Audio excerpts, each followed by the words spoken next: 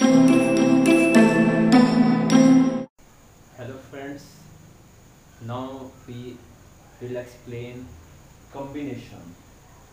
Combination is the method of mathematics which is very helpful for dividing total events of happening anything in subgroups and its formula is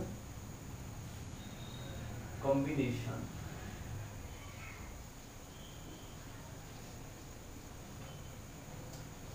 N C R. N means total number of events. R means its subgroup. N factorial N factorial minus R factorial R factorial. I take one example in how many ways a committee committee committee of uh, five person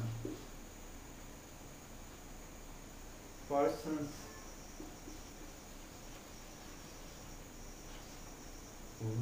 will be selected. Selected. Out of.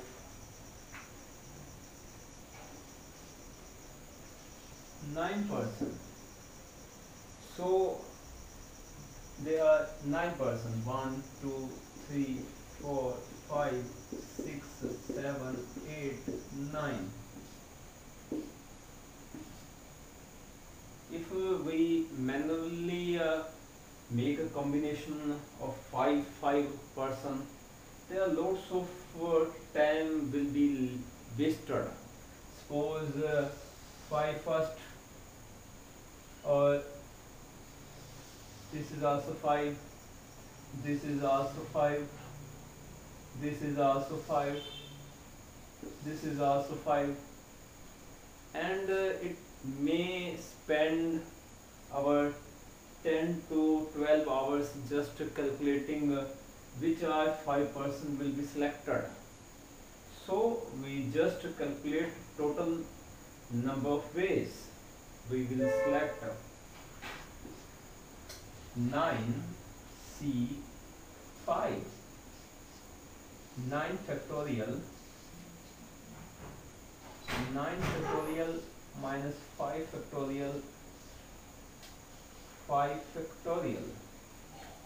And uh, 9 into 8 into 7 into 6 into 5 into 4 into 3 into 2 into 1 divide by 9 minus 4 5 4 into 3 into 2 into 1 and then 5 into 4 into 3 into 2 into 1 this is cut.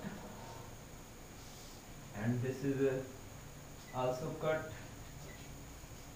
And then our answer will be after multiplying these 9 8 9 into 8 into 7 into 6 uh, in 6 uh, and divide with 4 3 2 1 126 ways 126 ways a committee of 5 persons will be selected out of 9 persons. So it is very important okay thank you very much